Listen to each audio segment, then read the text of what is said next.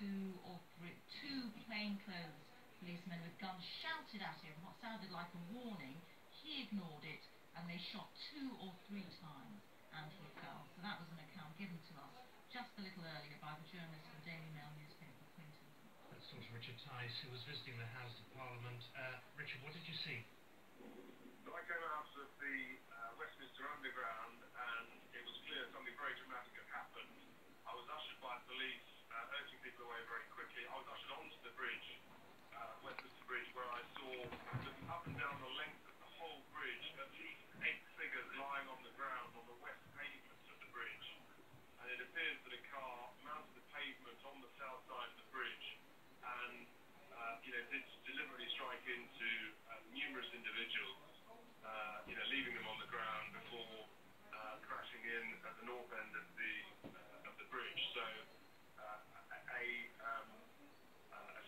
significant number of people uh, clearly injured and shot, and, and uh, obviously emergency um, services came very quickly to the scene, including uh, clearly people from special forces, masked uh, people with machine guns everywhere. So uh, a very serious, what appears to be a terrorist incident.